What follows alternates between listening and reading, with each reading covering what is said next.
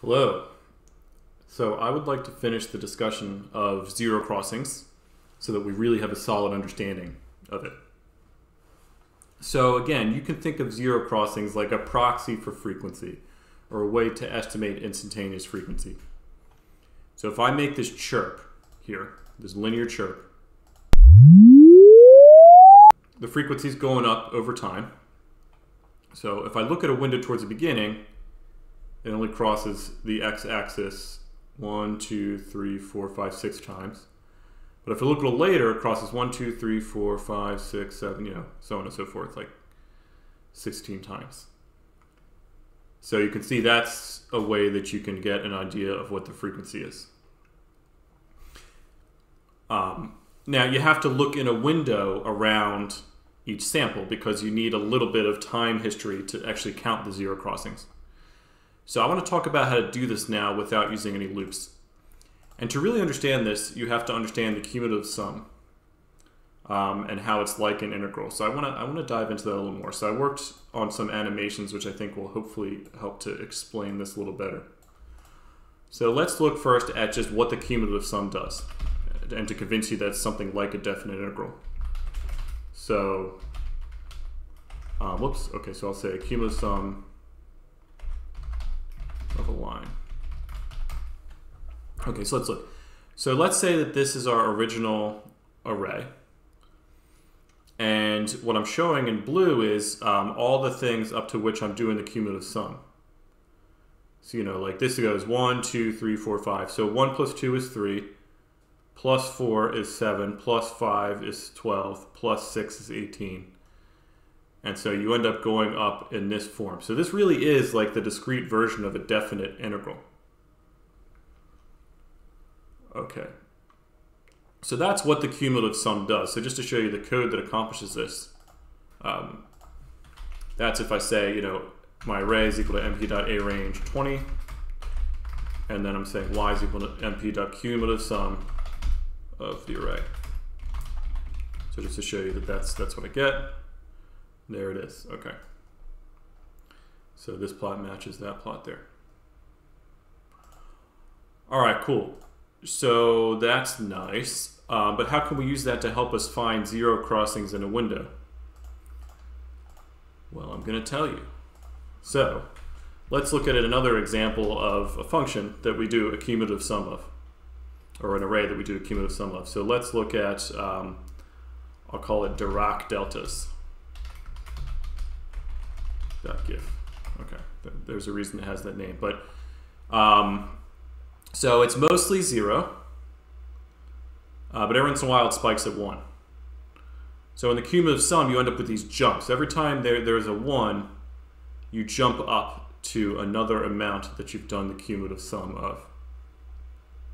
Okay, so as I'm moving along here, every time I hit one of these, I have one more in my running total. All right, so, so you, can think of this like an integral.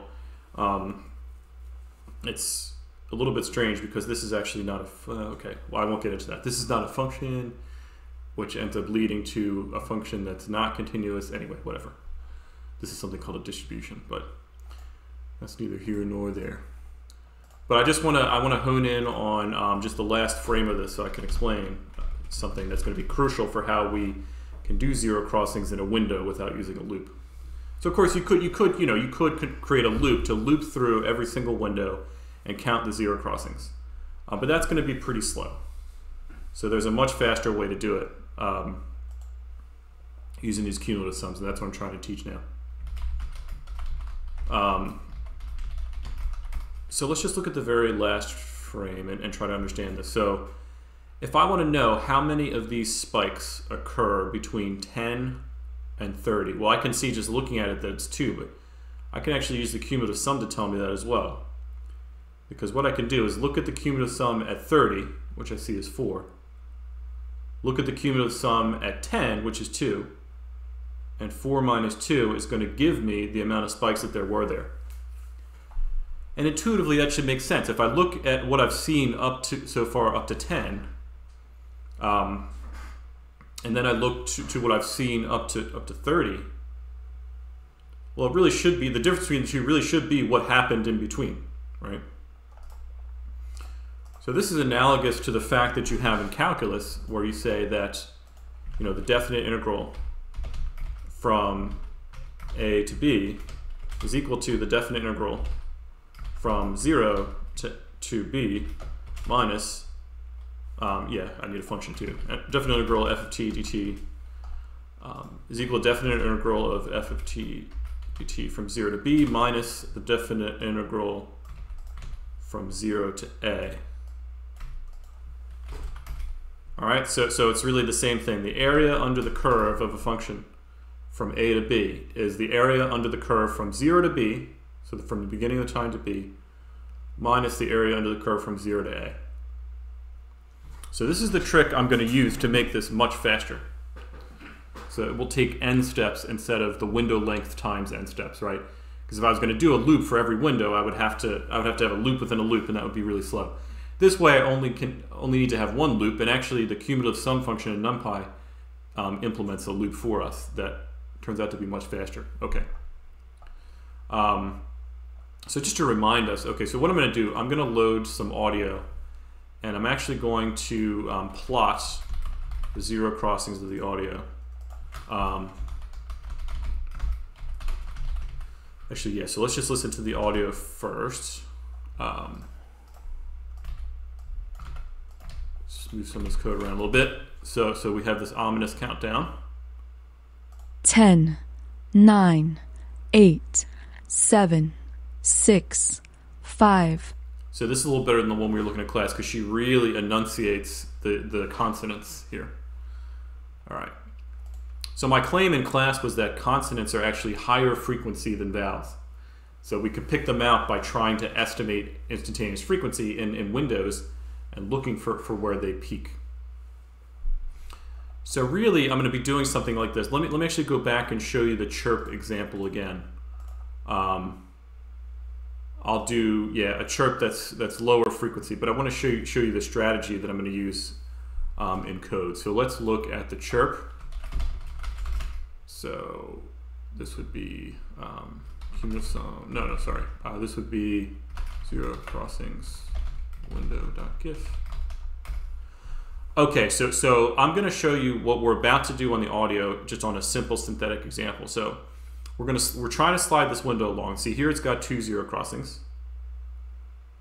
So I'm drawing the original single, signal, and then I'm drawing the signal which spikes whenever there's a zero crossing, and that's the one that I'm interested in, in summing over an interval. So here I got four, I got five, so I'm plotting it over here.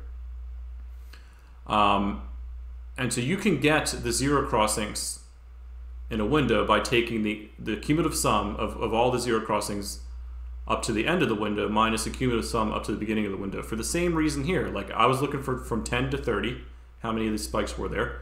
Took the cumulative sum up to 30, subtracted cumulative sum up to 10, that gave me it. So I'm doing the exact same thing here. Um, and this, but this was a linear chirp, and so you see something pretty neat, which is that this these estimates. I mean, they're a little noisy. They're not perfect because I don't always have all the same number of crossings in here, but you can see that this goes up like a line, basically. So this estimate is is working. All right. So that's what we're going to do. Um, first, let me just generate this um, thing that peaks every time there's a zero crossing. So yeah, let me just let me just do this on a simpler example to begin with. Um,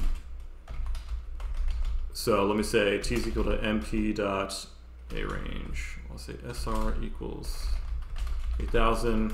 t is equal to np dot a range sr over sr. Say y is equal to np dot cosine 2 p dot pi times t. Um, and I'll make it pretty low frequency. So I'm just going to do a regular sinusoid for now. I'm going to show you. Okay, so the zero crossings. Um, yeah, and you know what? I'm actually going to make this pretty short. Let me just take the first um, 500 samples of this. And let me just plot it real quick to make sure that that's a good range. Um, oops. Okay, I'm just going to take out the first 500 samples. All right, so, so let's just see if we can figure out where the zero crossings are here. Um, and I'm going to plot the zero line so we can see.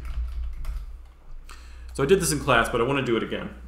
Um, and I want to kind of build it up step by step. So the first thing I can do is to use the sign function. Sign, but it's not the trig function. Um, so let me plot that here. So this is kind of a step in the right direction because um, you know it's either one or negative one. So if it if it changes, then it's going to change by going through a zero crossing. Okay, so that's good. So, so I, I can look for changes in this function. So let's, let's just try to do that. So, so the idea is I want to say that zero crossings at index i plus 1 minus zero crossings at index i, um, that should, should change somehow. So first let me just try to say zero, zero crossings um, then equals zero crossings um, 1 to the end minus zero crossings 0.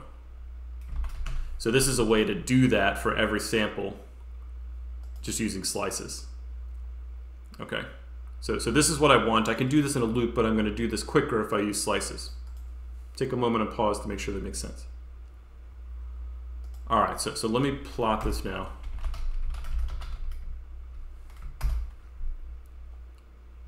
Okay, so, so this, we're getting there. So what we find is if it changes from um, positive to negative, then we end up getting a negative 2. And if it changes from negative to positive, we get a positive 2. So, so we can just fix this up by saying, um, first of all, I'll take the absolute value. That'll make them all positive.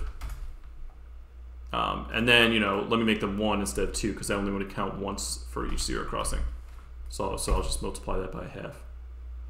Okay, so, so now this is going to get me my zero crossings function that I was showing you up here.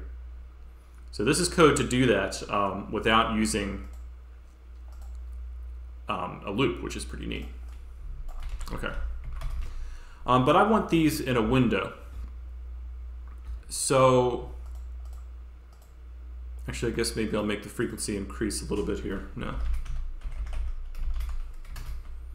Um, okay, so it's going to start off pretty slow, and then it's going to increase over time. Um, let me take more samples then.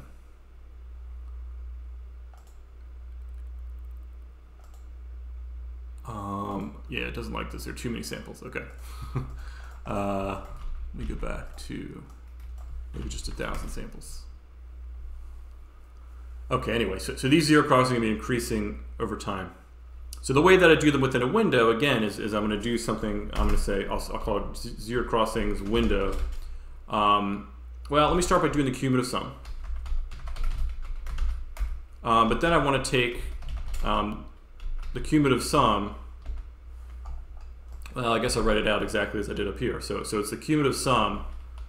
Um, so we really want the cumulative, for every sample, we want the cumulative sum um, of the zero crossings at index i plus some window. Okay, so I have to define a window length. I guess I'll say it's 100 here, maybe 200 here.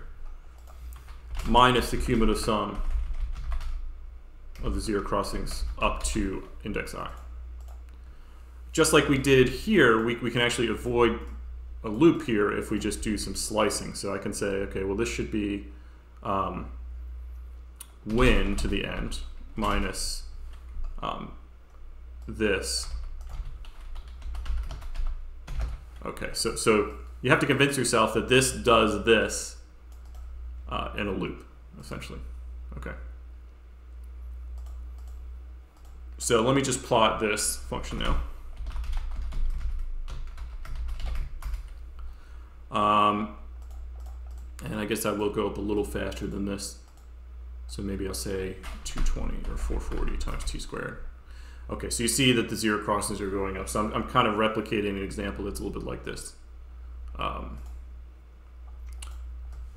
oh, and I can certainly go more t than that. Okay, anyway, so, so now we really see it. All right, cool. All right, so, so that's the code that gets the zero crossings work. Hopefully that makes sense now.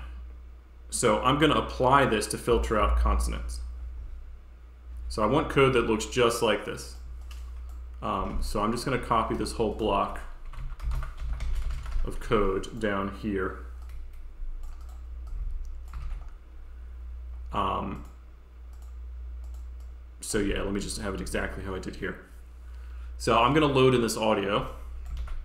I'm going to choose a window length.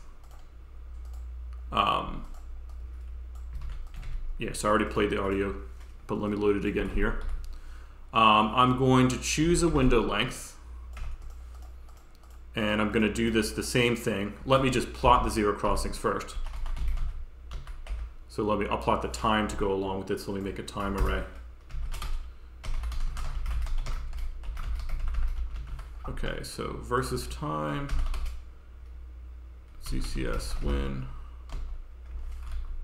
Um, so actually we don't, we're not gonna, because we have to cut the window off at the end, we're not gonna have as many samples in time as we did before. So I have to actually slice this. But let's just look. Okay, so here's the audio. four, three, So let me start at the beginning again. ten, nine, eight, seven, seven. Oh, wait, six, No, I think, yeah, no, that was right. Okay, let me try it again. ten, 10, nine, 8, eight, seven, seven, six, six, five, five, four, four, three, two, two, one, one, zero. zero.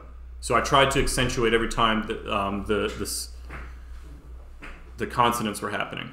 So one didn't have any, so you didn't really see much here. Um, nine didn't really have any either. Any fricatives like st. Um, but you see parts of the other ones did. So let's see if we can just filter out the parts that have the consonants. So the slicing here is a little bit tricky because I, I want um, the center of the window that I computed the zero crossings in to line up. But let me try to do it. So what I have to say is why um, I'm going to say, you know, starting halfway through the window up to um, that plus length of zero crossings when. Um, yeah, first, so I'm just going to take out a slice of Y that um, contains all my windows. So, you know, the center of the first window is going to be at um, the window length over 2. And I'm just going to go up to as many samples as there are um, windows of, of these zero crossings. Okay, so again, I'm trying to center the windows like I did here. Center the windows on the sample that I'm really thinking about here. So I say this is the left range, this is the right range, but I'm actually thinking of this. I'm really estimating the zero crossings instantaneously centered at the center of those two. Okay. So I'm going to do that, and then I'm going to say y, um, wherever the zero crossings. This is really cool. So we can actually we can do a Boolean selection here. So whenever the zero crossings are greater than um, some threshold. So if I look at this, um, it's probably safe to say, actually, a good threshold looks like 250 here. If I'm above 250, I'm going to cut out your audio. Uh, So I can just say equals zero. So I could do a loop and look, if the zero crossings at index i is greater than threshold, make y at index i zero. NumPy does this for you. It's way faster. So let's listen to this. ten, nine, eight, seven, six, five, four, three, two, one, zero. Okay, so that cut out all the consonants. So now I'm gonna just to make sure that you're following along. I, I want to have you do an exercise where you cut out um, the vowels instead, so you're only left with the consonants. All right. So we're gonna do that.